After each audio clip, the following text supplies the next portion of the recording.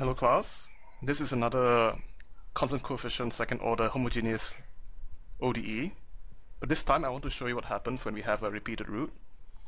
So let's look at this equation, y double prime plus 6y prime plus 9y equals 0. We do our usual trick, y equals erx. So what happens is that we have,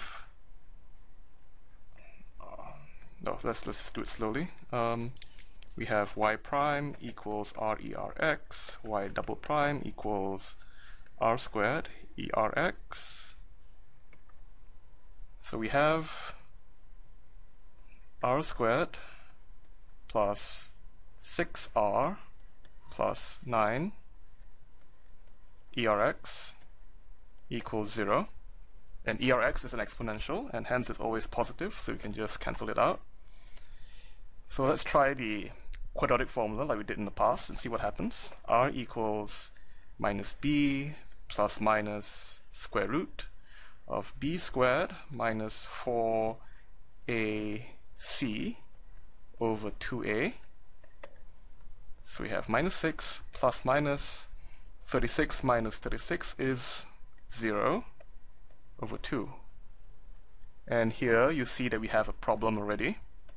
r is going to be equal to minus 3 and we don't get a second solution. But you know that this is this is a second order differential equation, so we need to find two linearly independent solutions to get a to get a general solution. But and not all is lost. We have one solution. y equals e minus 3x is one solution. It's y1. And you can check that that is true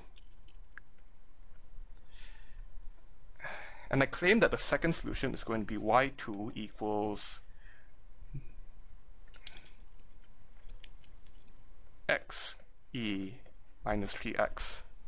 Now first of all, um, we can check that these two solutions are linearly independent.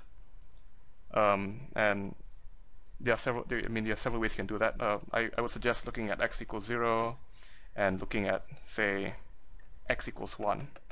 And from there you can see that it is going to be linearly independent. But this is left as an exercise for you to work out. Um, you can just try to Wronskian if you want to do that instead. But now we have our general solution of y equals c1 e minus 3x plus c2 x e minus 3x. And it should be straightforward. If you have uh, initial conditions, you can figure out what c1 and c2 are. But anyway, this is our general solution.